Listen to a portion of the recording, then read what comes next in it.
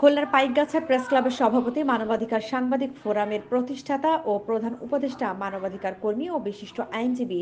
F M এর রাজ্জাক ও তার পরিবারের সদস্যদের নামে হয়রানিমূলক মামলা প্রত্যাহার সহ প্রাথমিক তদন্ত ছাড়াই মামলা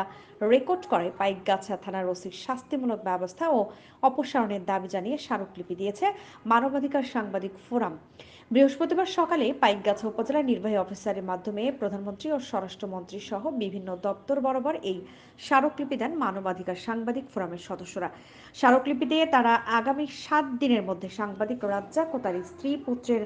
নামে হয়রানিমূলক মিথ্যা মামলাটির ফাইনাল রিপোর্ট দেওয়ার ব্যবস্থা গ্রহণ এবং সরকার ও পুলিশের ভাবমূর্তি নষ্টকারী এবং প্রাথমিক তদন্ত ছাড়াই মামলা নিয়ে সাংবাদিক হয়রানিকারী ওসি মোহাম্মদ জিয়াউর রহমানের বিরুদ্ধে শাস্তিমূলক ব্যবস্থা সহ সাত দিনের মধ্যে অপসারণ দাবি সহ পরবর্তীতে